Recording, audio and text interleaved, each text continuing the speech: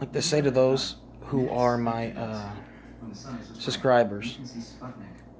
I know I'm not very articulate, but I'm just gonna say it. Uh, a year ago, on Valentine's Day, my wife passed away. She's the one that was telling off the DCFS worker in the other video. I want everybody to know that the way she was like, she was the best person ever. She is the type of person that would give you the shirt off her back. I know this for a fact I've seen her do it. Not like that. I mean, she'd give give a lot of money when people ask, even sometimes when we didn't have it. And you know she'd defend her family. you guys seen the other video, you'd know that.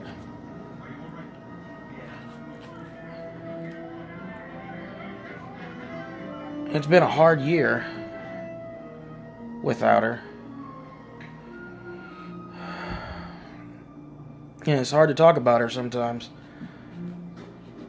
She died during she through complications because of surgery, which I think the doctors did not do their job right.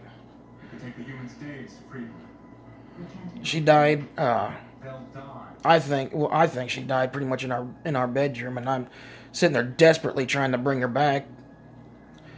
Took the ambulance about 20 minutes to even get to us.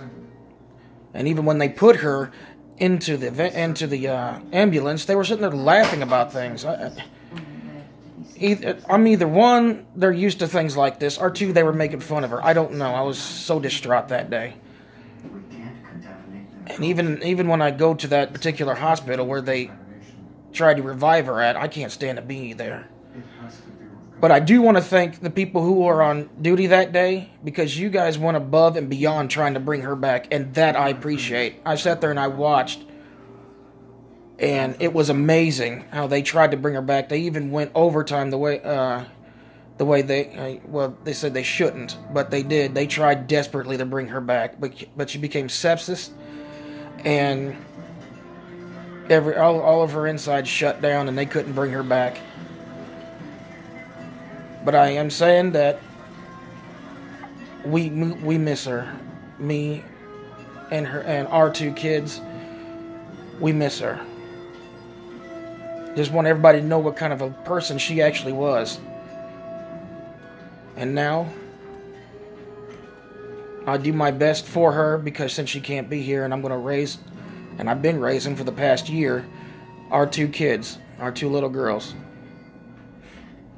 I may fall, fail by somebody's standards, but I do my best and I make sure they are fed, clothed, and everything that I can do for them. And discipline, yes, if they need it. Because in some ways I'm a traditional father, in other ways I'm a little bit progressive, but not much.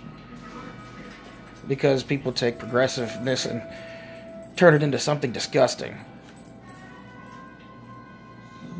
But this isn't, this is about April and just to let you guys know what happened, if anybody cared to have an update on anything. I hope to do more videos. Maybe I'll become better at it if I do more. Because I always admired people doing stuff, uh, videos on, on YouTube and all that.